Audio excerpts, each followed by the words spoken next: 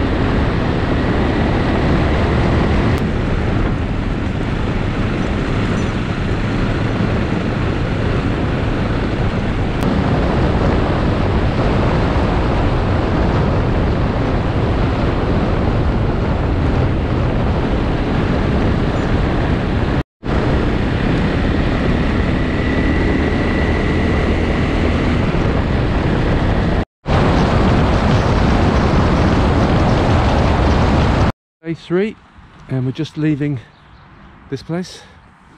Uh, it's been a wet morning, so we're late setting off, um, and we're gonna head a little bit south and then join the trails. Ben, That back end, I can't keep that back end in place.